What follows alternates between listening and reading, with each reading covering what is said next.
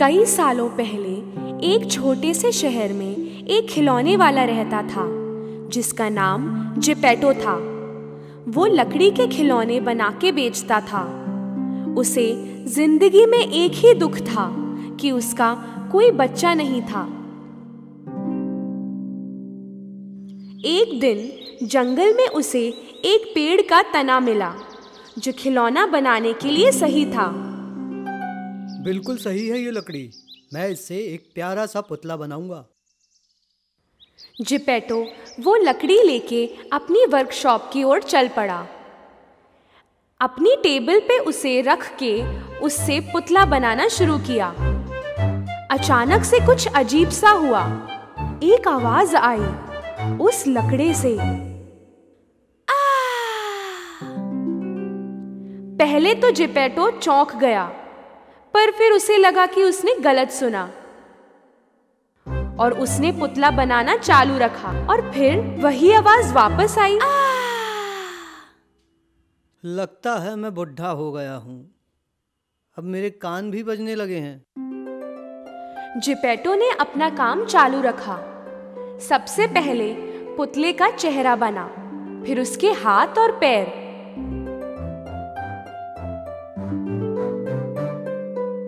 Geppetto का पुतला पूरा बन गया। उसे कुर्सी पर रख के उसने सफ़ाई शुरू की।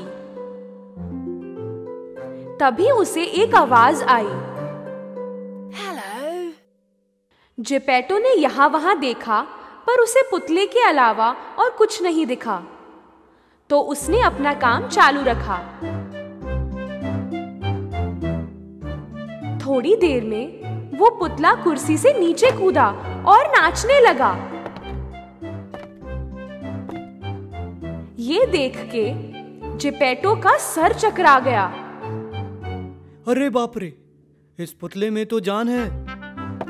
ये कोई बच्चा तो नहीं था पर बच्चों की तरह ही हंसता बोलता और नाच रहा था। जिपेटो ने उसे उठाया। अब से तुम्हारा नाम पिनाकियो है मेरे बच्चे? जिपेटो और पिनोकियो खुशी से रहने लगे। पिनोकियो के स्कूल जाने का समय हो गया था, पर जिपेटो के पास उसके स्टेशनरी के लिए पैसे नहीं थे। इसलिए जिपेटो ने अपना कोट बेच के उसके पैसे पिनोकियो को दिए। पिनोकियो उन पैसों के साथ स्कूल की ओर चल पड़ा। रास्ते में सारे लोगों और दुकानों को निहारते हुए। अचानक उसे सामने एक जगह खलबली सी दिखी। क्या हो रहा है? जानने के लिए वो भीड़ के बीच में गया और आसानी से उस पार पहुँच गया। छोटा सा उस पार था एक रंग बिरंगा टेंट, सर्कस टेंट। वहाँ पे एक जोकर टिकट लेने के लिए लोगों को बुला रहा था। पिनोकियो को देखना था कि अंदर है क्या पर उस जोकर ने उसे रोक लिया और कहा अंदर जाने के लिए पैसे लगते हैं। पिनोकियो को उन पैसों का ख्याल आया जो जिपेटो ने उसे स्कूल के लिए दिए थे। पैसे हैं मेरे पास। उसने वो पैसे निकाले और जोकर को दे दिए। टेंट के अंदर बड़ा मज़ा आ रहा था। उसने वहाँ कुछ पुतले देखे जो स्टेज पे नाच रहे थे। ये दोनों भी लकड़ी के बने हैं। पिनोकियो भी स्टेज पे चढ़कर उनके साथ नाचने लगा। पर ये वहाँ खड़े दर्शकों को नहीं पसंद आया। सर्कस का मालिक जो ऊपर से इन पुतलों को डोरी से नचा रहा था बड़ा खुश हुआ। एक ज़िंदा पुतला देख के। अरे वाह क्या बात है? बिना डोरी का ये पुतला ये तो मुझे अमीर बना देगा माला माल बना देगा। शो के खत्म होते ही उसने पिनोकियो को पकड़ा और उसे बंदी बना लिया। पिनोकियो को बड़ा दुख हुआ कि उसने जिपेटो की बात नहीं सुनी और स्कूल नहीं गया। तो वो रोने लगा।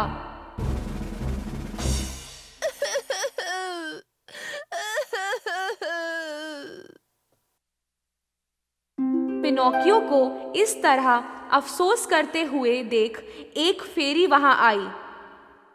तुम्हें अपने पापा की बात माननी चाहिए थी, पर तुम्हें अपनी गलती का एहसास तो है, इसलिए मैं तुम्हें यहाँ से निकालूँगी। पर वही गलती फिर मत करना। पिनोकियो बहुत खुश था। पर अब कोई पैसे नहीं है मेरे पास। मैं स्कूल कैसे जाऊँगा?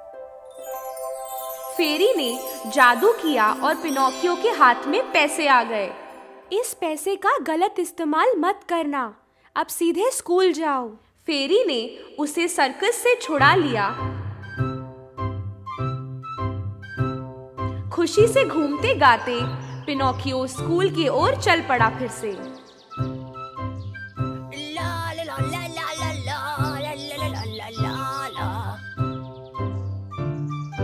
उसे इतनी खुशी में देख चालाक लोमड़ी और उसका दोस्त बावली बिल्ली उसके रास्ते में आ गए और उससे पैसे ठगने का प्लान बनाया। अरे भाई इतने झूमते घूमते कहाँ जा रहे हो? मैं अपने लिए स्टेशनरी खरीदने जा रहा हूँ। अरे इतने से पैसे में स्टेशनरी कौन देगा मेरे भाई? मैं तुम्हें इससे भी ज़्यादा पैसे दे सकता हूँ। मुझे क्या करना होगा? हमें ये पैसे दे दो, हम इसे जादुई खेत में बो देंगे। फिर तुम्हारे पास भी एक अपना धन वृक्ष होगा। जब चाहो, जाके उसमें से पैसे तोड़ लिया करना। भोले भाले पिनोकियो ने लोमड़ी की बात मान के उससे पैसे दे दिए। पैसे लेके लोमड़ी और बिल्ली उड़न छू हो गए। पिनोकियो को चिंतित देख के फेरी फिर से आई। तुम अभी तक स्कूल नहीं पहुँचे? मैंने जो पैसे दिए थे स्टेशनरी के लिए, वो कहाँ है? फेरी को मालूम था कि उसने पैसे लोमड़ी को दे दिए हैं। उसने पिनोकियो से कहा, मुझसे झूठ मत बोलना, वरना पनिश करूँगी मैं। फिर भी पिनोकियो ने झूठ बोला।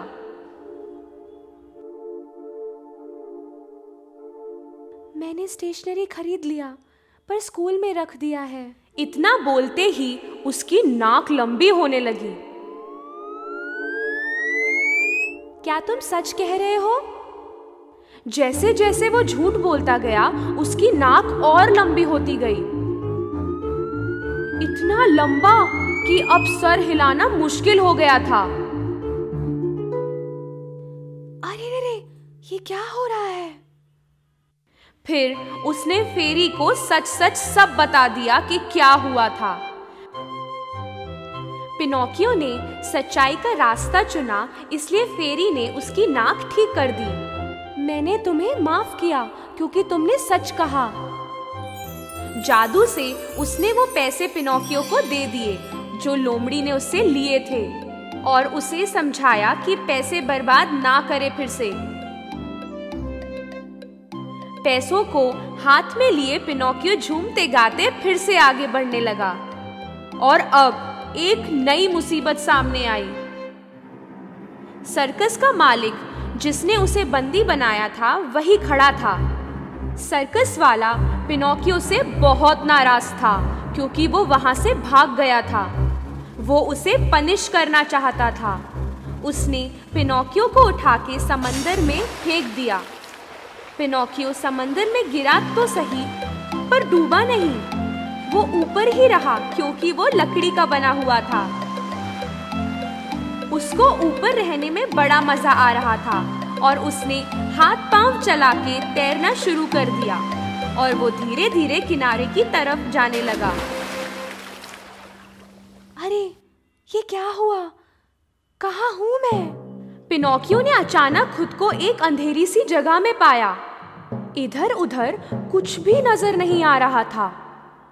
असल में पिनोकियो को एक बड़ी सी मछली ने निगल लिया था और अब वो उसके पेट के अंदर था। दूसरी तरफ़ जिपेटो पिनोकियो को लेकर चिंतित था और उसे ढूँढने बाहर निकला। पिनाकियो! पिनाकियो! आखिर में वो उस जगह पहुँचा जहाँ से पिनोकियो को समंदर में गिराया गया था। वहाँ मछुआरों से पूछा, एक मछुआरे को पता था उस लड़के के बारे में? उसने बोला कि वो समंदर में गिर गया था। जिपेटो ने उसे मदद मांगी। उन्हें मालूम था कि जिपेटो एक अच्छा इंसान है। वो तैयार हो गए उसकी मदद करने के लिए। जिपेटो को उसने एक छोटी सी नाव दी पिनोकियो को बचाने के लिए। जिपेटो नाव लेके समंदर में जाता रहा। थोड़ी देर में एक भयानक तूफ़ान आने लगा। इस छोटी सी नाव से बड़े बड़े लहरों का सामना नहीं किया गया और वो डूब गई। और जिपेटो अचानक समंदर के पानी में था। जिपेटो की उम्र बहुत ज़्यादा थी और उसे तैरना भी नहीं आता था। वो समंदर की गहराइयों में जाने लगा। उसी समय, जिस बड़ी मछली ने पिनोकियो को निगला था, उसी ने जिपेटो को भी निगल लिया। जिपेटो उसके गले से उतर के सीधा पेट में गया और उसे एक बच्चे के रोने की आवाज़ आई। उसे ये आवाज़ एकाएक पहचान में आ गई। पिनाकियो, मेरे बच्चे, तुम मिल गए आखिर। कितना परेशान था मैं। अपने पापा की आवाज़ सुन के पिनोकियो रोते हुए उनसे गले मिला। सॉरी पापा मैंने आपकी बात नहीं सुनी। मुझे माफ़ कर दो। अब से मैं हमेशा आपकी बात मानूँगा। ये देख के कि इस बार पिनोकियो सच में बुरा महसूस कर रहा था फेरी ने उन दोनों को मछली के पेट से निकालकर सही सलामत किनारे पे पहुँचा दिया। उस दिन से पिनोकियो सयाना हो गया।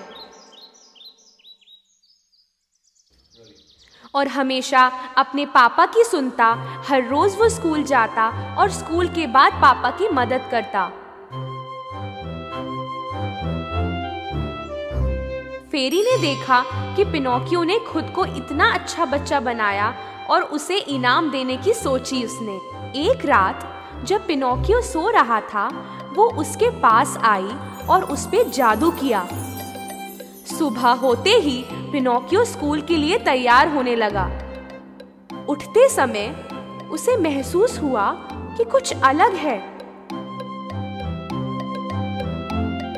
उसने अपने हाथ देखे, फिर बाकी शरीर देखा। वो चौंक गया। वो अब लकड़ी का ना रहा।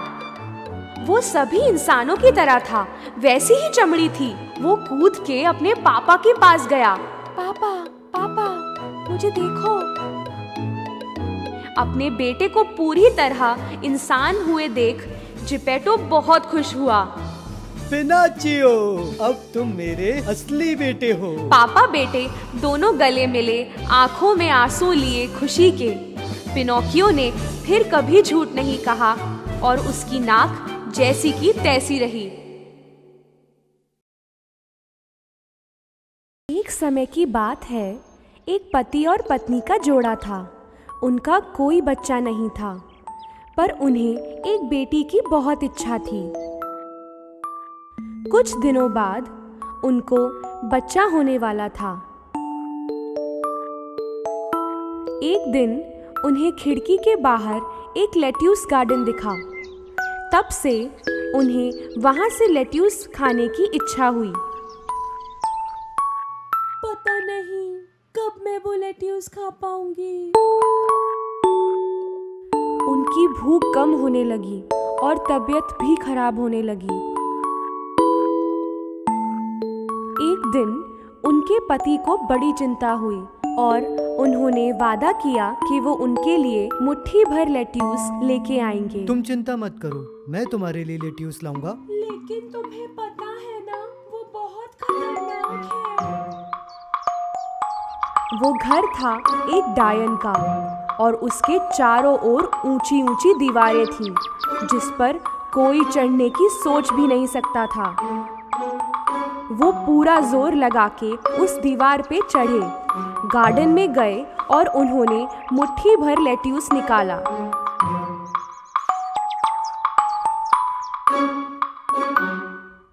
उनकी पत्नी ने बड़े शौक से लेट्यूस खाया और बेहतर महसूस करने लगी। पर मुट्ठी भर लेट्यूस से उनका जी नहीं भरा। अगले दिन उनके पति फिर से उस गार्डन में गए। पर इस बार वो डायन वही खड़ी थी। इतनी हिम्मत कि मेरे गार्डन में आके मेरा लेट्यूस चुराते हो।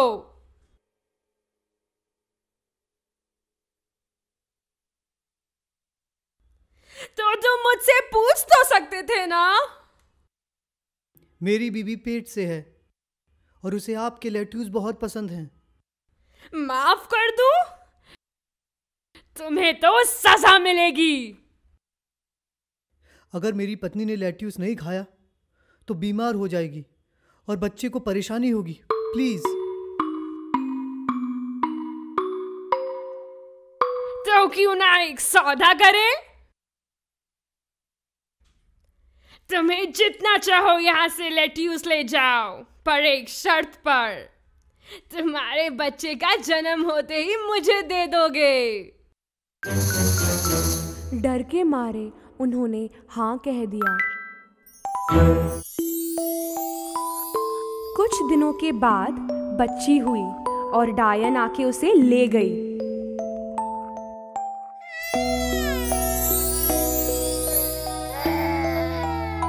उसने उसका नाम रखा रैपंजिल, क्योंकि जो लेट्यूस उसकी मॉम खाती थी, उसका नाम भी वही था।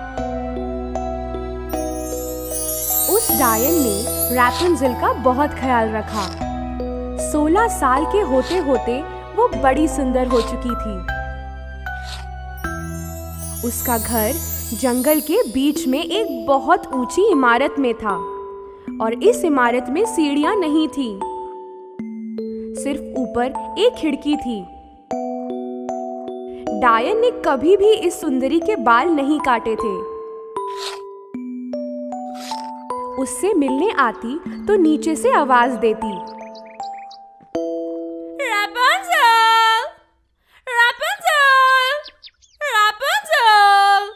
अपने सोने जैसे बाल तो नीचे करो। तुम्हारी मम्मी हूँ। अपनी खिड़की से रैपंजिल अपने सोने जैसे बाल नीचे करती और उसी के सहारे ये डायन उस पर चढ़ जाती। ये सालों तक चलता रहा। एक दिन उस जंगल में एक प्रिंस आया शिकार करने। और उसने एक सुरीली आवाज़ को सुना गाना गाते हुए। वाह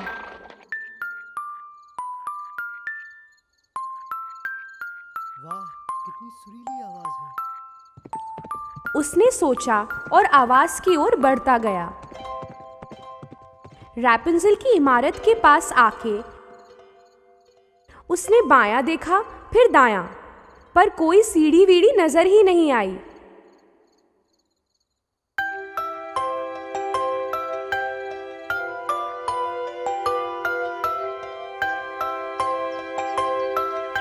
वो आवाज़ प्रिंस को हर रोज वहाँ खींच लाती थी, पर ऊपर चढ़ना ही नहीं हो पाया।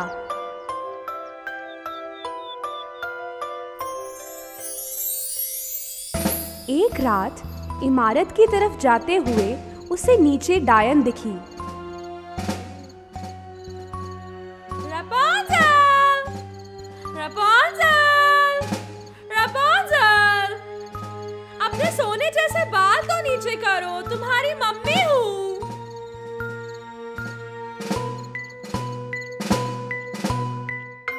अपनी खिड़की से रैपुंजिल ने अपने सोने जैसे बाल नीचे करती और उसी के सहारे ये डायन उस पे चढ़ जाती। अगले दिन सूरज ढलते ही प्रिंस वहाँ गया और आवाज़ बदल के चिल्लाया। रेपुंजल रेपुंजल अपने सोने जैसे बाल तो नीचे करो। मैं तुम्हारी मम्मी हूँ।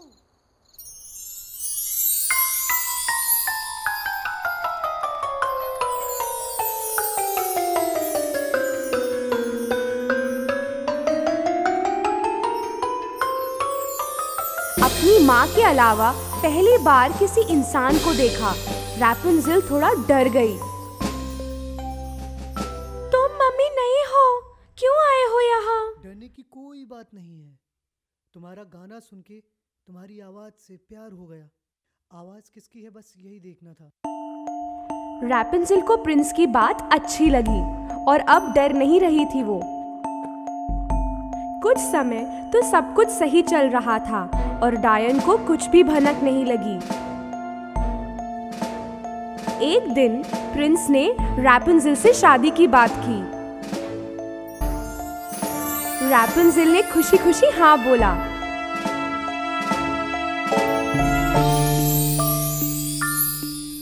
पर रैपनजिल को नीचे जाने का कोई तरीका नहीं सूझ रहा था।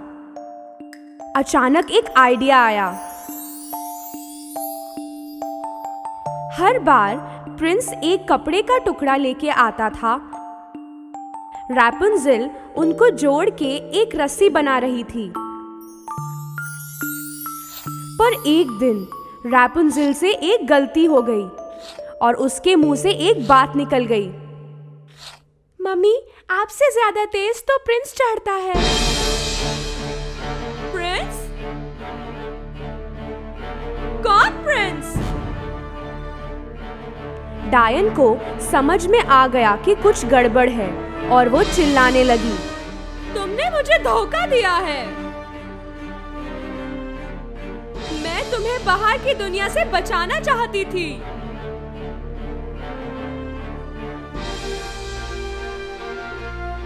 डायन ने गुस्से के मारे रैपुंजल के सुंदर सोने जैसे बाल काट दिए।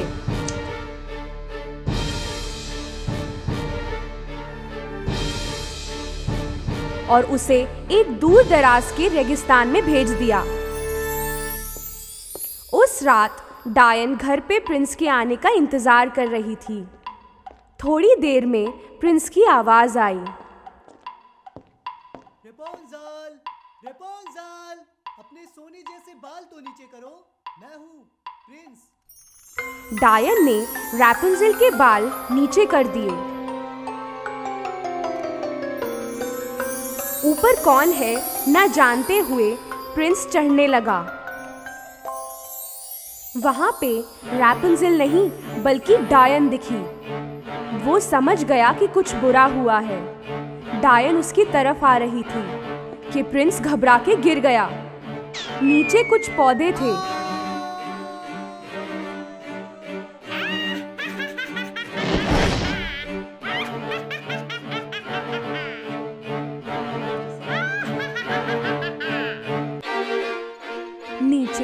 कुछ पौधे थे तो प्रिंस बच गया, पर आँखों में कांटे लगने की वजह से वो देख नहीं पा रहा था।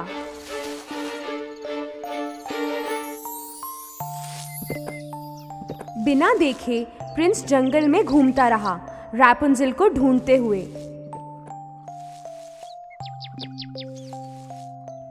रास्ते में फल भी मिले, तोड़ के खा लिया। चलते चलते इतनी दूर आ गया कि रेगिस्तान पहुँच गया। और अचानक कुछ हुआ। एक सुरीली आवाज़ सुनाई दी।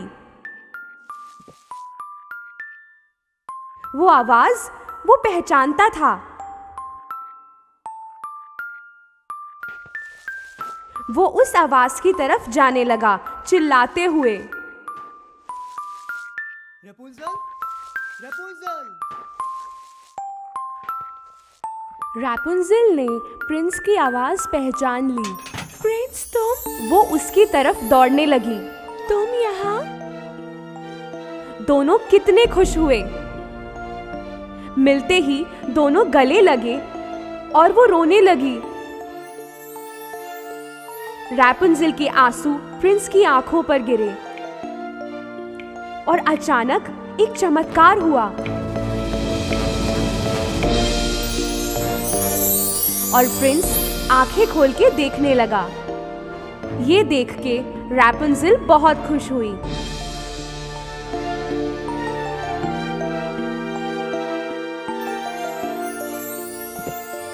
दोनों एक साथ प्रिंस के किंगडम गए, जहाँ लोगों ने उनका स्वागत किया।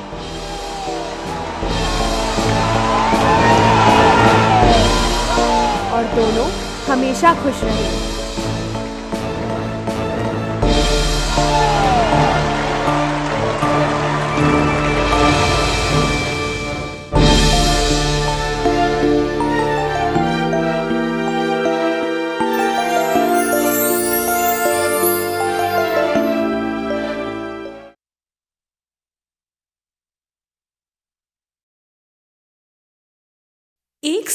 बात है एक खूबसूरत सी प्रिंसेस एक बड़े से महल में रहती थी। एक दिन उसके पापा महाराज जी ने उन्हें बर्थडे गिफ्ट में एक गोल्डन बॉल दिया। हैप्पी बर्थडे बेटी। थैंक यू पापा। प्रिंसेस को ये गोल्डन बॉल बहुत पसंद था और वो अपना सारा वक्त उसके साथ खेलने लगी। एक दिन वो खेलते खेलते बाहर चली गई। प्रिंसेस बॉल से खेलती खेलती एक पॉन्ड के पास पहुँच गई।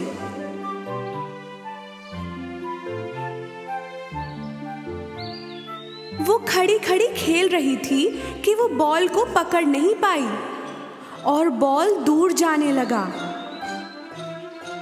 मेरा बॉल प्रिंसेस बॉल के पीछे भागने लगी, पर बॉल और भी तेज जाने लगा। आगे जाके वो बॉल पौंड में गिर गया और गहरे पानी में डूब गया। Oh no. प्रिंसेस पौंड के पास बैठ के रोने लगी।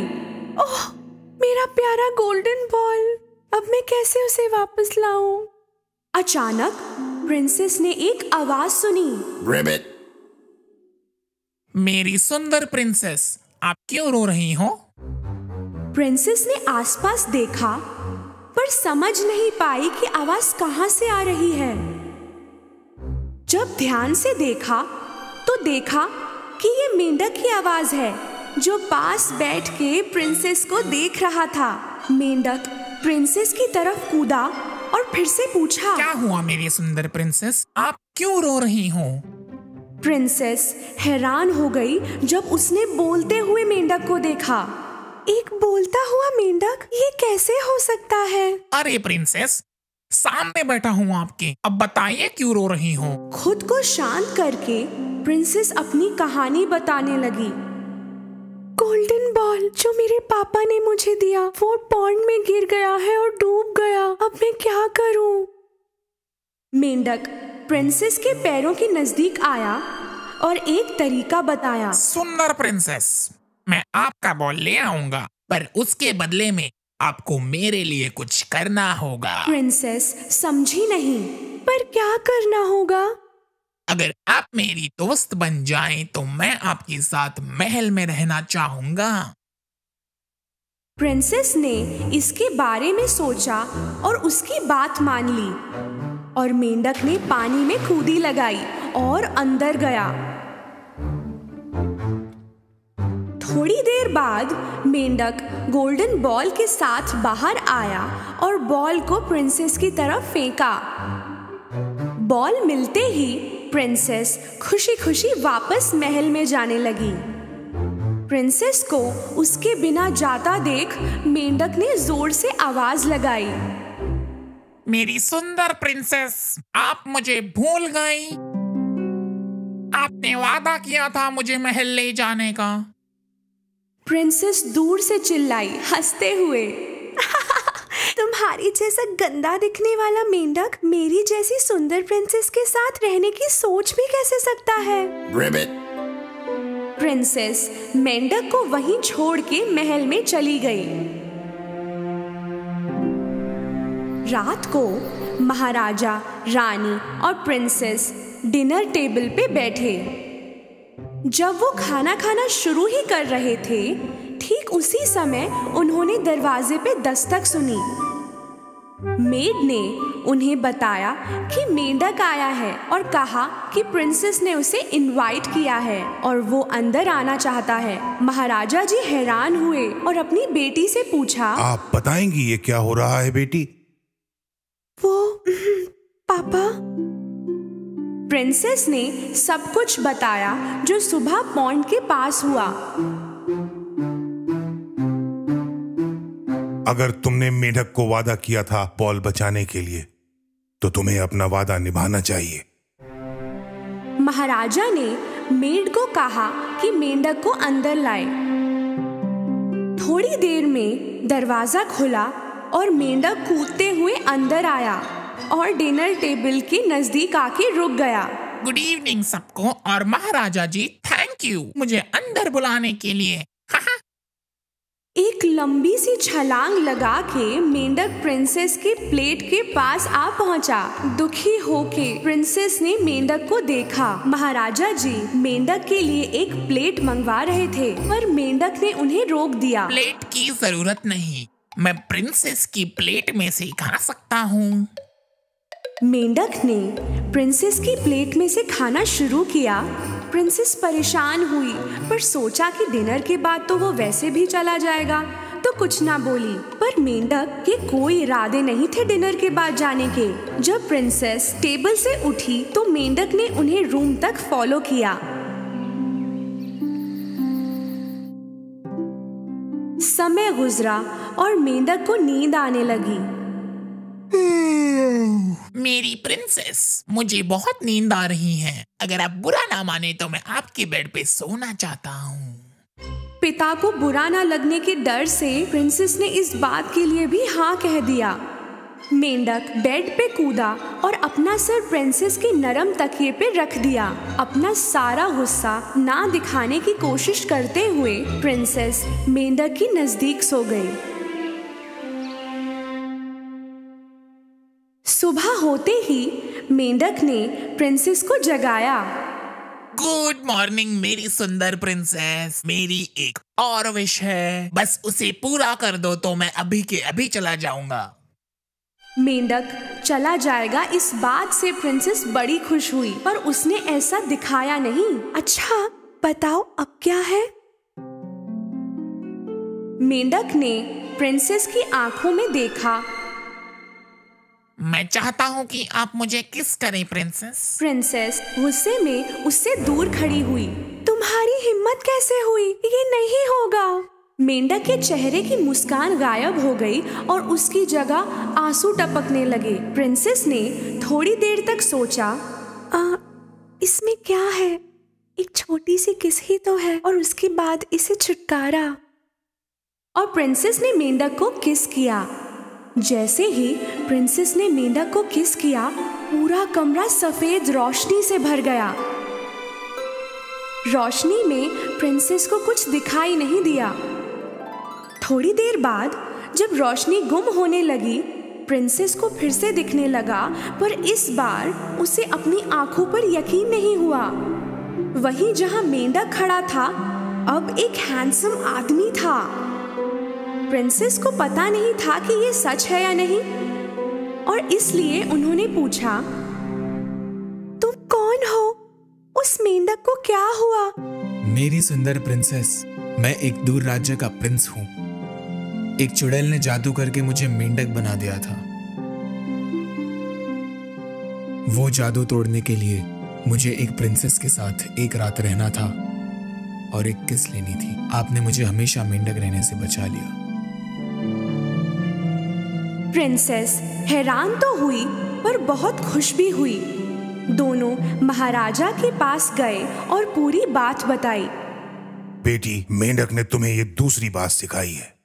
हमें किसी की सच्चाई जाने बिना उसके दिखने के तरीके से उसके बारे में फैसले नहीं लेने चाहिए। महाराजा ने कुछ और दिन प्रिंस की मेहमान नवाजी की अपने महल में प्रिंस और प्रिंसेस पॉन्ड के पास आए जहाँ वो पहली बार मिले थे। मेरी प्रिंसेस क्या आप मुझसे शादी करोगी और मेरे घर चलोगी? प्रिंसेस मुस्कुराई और सर हिला के हाँ कहा। और ठीक उसी समय एक आवाज़ आई।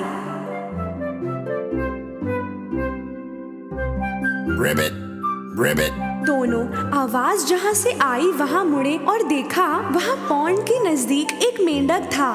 दोनों ने अपनी सांस रोक ली और उसके बोलने का इंतज़ार किया पर ऐसा कुछ नहीं हुआ।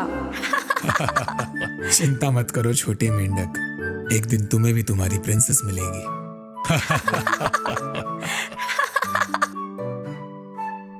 थोड़े समय बाद दोनों ने शादी कर ली और खुशी से रही। हमेशा